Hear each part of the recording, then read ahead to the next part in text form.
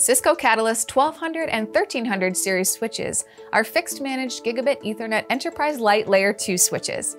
These switches are simple, flexible, and secure.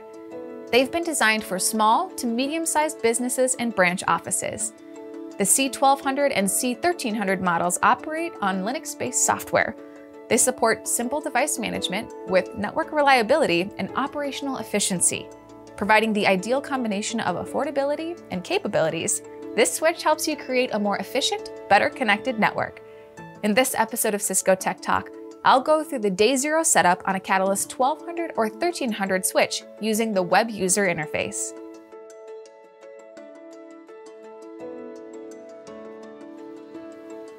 First things first, log into the switch by entering the username and password. In this video, I'll be using a C1300 switch, but the process is the same for a C1200 switch as well. Since the switch is new out of the box, enter Cisco for both the username and password to log in, all lowercase letters. Once you're logged in, it'll prompt you to set a new username and password. You can't keep Cisco for either one. For this example, I'll use admin for the username. To have an acceptable password, you need to make it complex and follow certain criteria. You could use the Suggest Password option by clicking on it. It'll give you a strong password. If you want to use this as your password, simply click on Copy to Clipboard and paste it into the password field. In this case, I'll enter my own password. If you also choose to enter your own password, you need to know a few things that are not allowed for security purposes. You can't use Cisco or any variation of the word. No common passwords are allowed. You cannot use more than three repeated characters in a row. For example, 111 will not be accepted. Additionally, using more than two sequential characters in a row, like 123, will not be allowed. Once you have a password that will be accepted, enter it in the provided field. Enter it again to confirm, and then click Apply. Now that you have a new password set, you'll be prompted to log in with these new credentials. Enter the username and password that you just configured. At this point, the switch is up and ready to use. To save the configuration, click the blinking red Save icon at the top of the screen. Great, your switch has a basic setup. Next, I'll go over a few common steps that you may want to do, along with this initial configuration. In some cases, you may want to set a static IP address as opposed to using Dynamic Host Configuration Protocol, DHCP. To set a static IP, navigate to IPv4 configuration in the main menu, and then click on IPv4 interface. Select the interface and click Edit.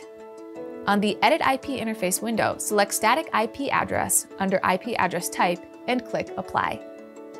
If you want to change this address to something new, click on the plus icon to add an IP interface.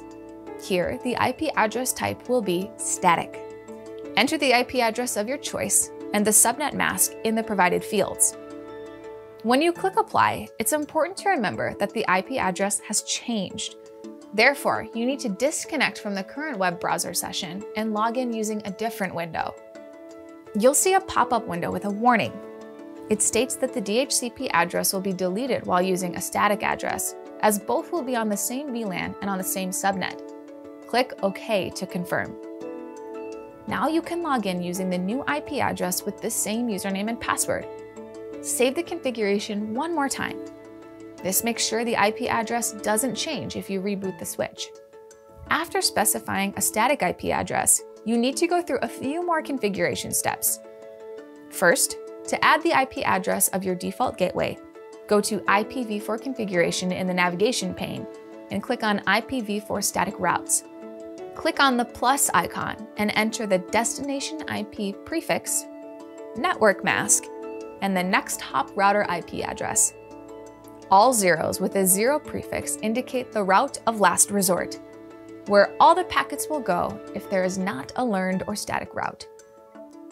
Next, you need to configure your DNS server by navigating to General IP Configuration. Under DNS, click on DNS Settings. Here, enter the server IP address and click Apply. Be sure to save your configuration. There you go. you're set to manage your Catalyst 1200 or 1300 switch using the web user interface. Thanks for watching. I'll see you next time.